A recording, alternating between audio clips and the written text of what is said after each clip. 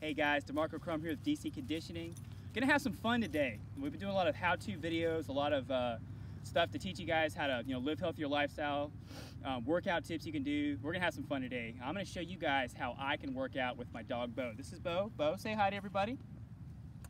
Good boy.